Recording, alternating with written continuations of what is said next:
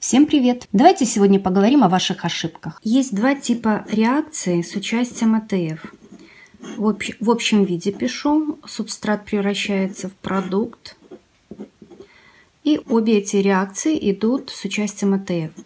В одном случае АТФ расщепляется до АДФ и фосфора неорганического. В другом случае АТФ расщепляется до АДФ и фосфор неорганический присоединяется к продукту. Если над стрелочкой у нас все части от АТФ остались, именно остались над стрелочкой, а, значит э, в этой реакции идет расщепление АТФ, и это типично шестой класс. В данном случае АТФ расщепилась, однако часть ее перенеслась на продукт, перенос, трансфер. Следовательно, это трансферазы. Э, в данном случае у нас синтетаза. Первая реакция и фосфотрансфераза, перенос фосфора, она же киназа. Вы путаете шестой и второй класс. Обратите внимание еще раз. АТФ, все части АТФ остаются над стрелочкой. В данном случае часть АТФ переносится на продукт. Ошибка номер два. Реакции с углекислым газом. В одних реакциях он добавляется, то есть плюс СО2, в других реакциях он уходит, минус СО2. В данном случае первая реакция у нас реакция карбоксилирования. Как правило, эти реакции идут с участием АТФ. До АДФ и фосфора неорганического расщепляется наш АТФ, следовательно, это шестой класс. Запомните, углекислый газ просто так в формулу не зайдет. Для этого нужна, нужно приложить какую-то силу. Вот эту силу, эту энергию как раз-таки дает АТФ. Фермент называется по названию субстрата. Какой субстрат? Карбоксилаза. Второй тип реакции – декарбоксилирование. Обратите внимание, когда вы будете подсчитывать количество двойных связей субстрата и продукта, бывают реакции, когда одинаковое количество двойных связей и у субстрата, и у продукта. Если смотреть по реакции, вот он над стрелочкой выходит, следовательно, он может писаться вот как плюс СО2.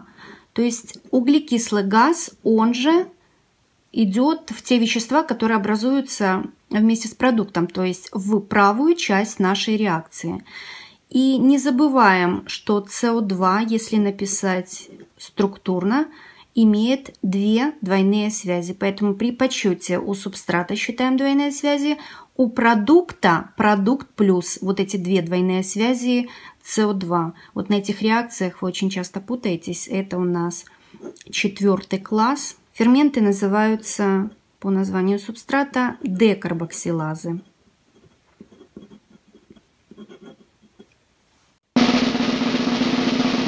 Напоминаю, первый класс дегидрогеназы. Реакции обратимые. Единственное исключение, когда они идут с выделением углекислого газа. А как же назвать дегидрогеназы, если реакции обратимы? Где субстрат, где продукт? Давайте называть всегда и смотреть, от какого вещества отнимается водород. То есть смотрим на реакцию. В данном случае водород, вот он водород, два водорода, два протона, над принес.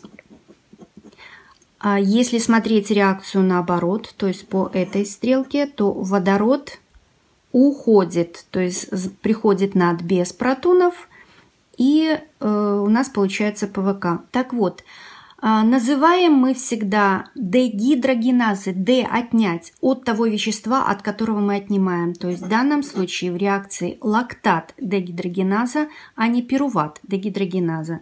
Аббревиатура ЛДГ. Запомните сейчас очень важный момент. В биохимии существуют ферменты, которые работают в паре. То есть направление реакции в одну сторону у нас идет работает один фермент, э, в другую сторону у нас работает другой фермент. Эти реакции распространены в биохимии, и давайте их запомним. Если вы это поймете, вам облегчится изучение очень многих метаболизмов. Итак, это первый фермент, который работает вот в этой паре. Я сразу их озвучу. Это киназа. и фосфатаза. Киназа, помним, фосфорилирует, то есть добавляем АТФ, АДФ выходит и фосфор неорганически присоединяется к продукту. То есть в данном случае работает киназа, второй класс. В обратную сторону киназа не работает, работает другой фермент. Чтобы убрать фосфор, нужно просто добавить воды. Я уже говорила об этих реакциях. Эти реакции катализируют гидролазы. Гидролаза третий класс, просто добавь воды. Но и так как она забирает фосфор, то это фосфатаза. Вот мы и вышли на два фермента, которые работают в паре. Сделайте паузу в видео. Запомните эти реакции. Киназа добавляет фосфор, забирает фосфор, фосфатаза. То есть эти два фермента работают в паре, и они антагонисты.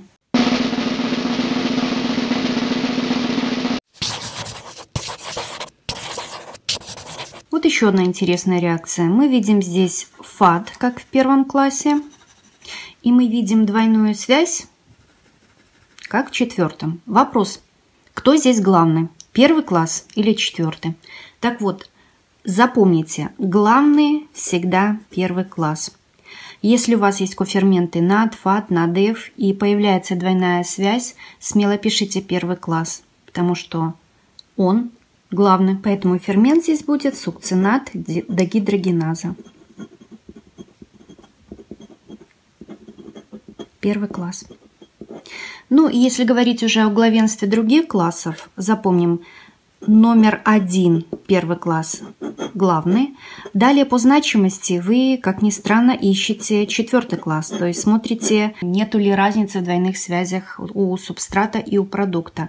Далее все по той классической шпаргалке, которую я вам записала, никаких исключений больше нет. И, внимание, анонс следующего видео. Я запускаю квест. Первый уровень будет у нас самый легкий. То есть мы будем тренироваться называть ферменты. Приглашаю всех на квест.